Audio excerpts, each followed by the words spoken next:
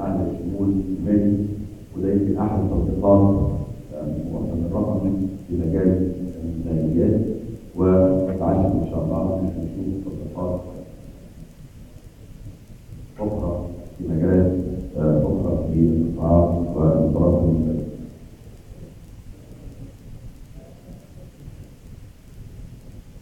الغرفه رؤيتها الوطن الرقمي ده هو اتجاهنا عشان رفع مستوى معيشة الفرد والحياة أكرم وأحسن ونظام يتيح للناس إنها تعيش برغم العيش لو كل الأمور بقت رقمية ومميزة.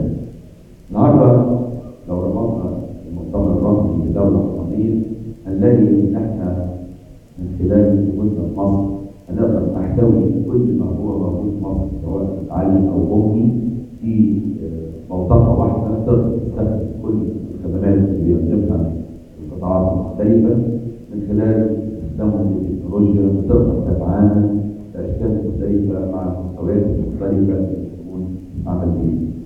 إحنا نتعشم إن إحنا نقدر نصل إلى خارج القاهرة إلى الرجوع لنظم رقميه إحنا مش أحسن أو مش أقل من كينيا اللي قدرت المعلومات والاتصالات عشان تربط كل الناس الموجودين في القرى والرجوع من خلال منظومه واحدة تساعدهم على تسويق منتجاتهم وتساعدهم على معرفه اسعارها والتعرف على ميدل نيم الموجود فيه.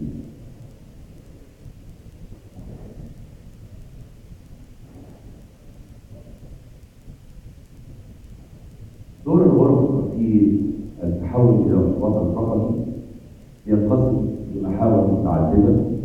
يمكن أولها إن إحنا لنا دور إلى جانب جهات أخرى. إحنا نبذل الجهد في زيادة معرفة القاعات والمستويات المختلفة زيادة معرفتهم عن التكنولوجيات الجديدة وتأثيرها على تغيير نمط حياتهم ونمط أعمالهم والتاثير ده على الشركات بتاعتنا اللي ممكن تقدم هذه الخدمة.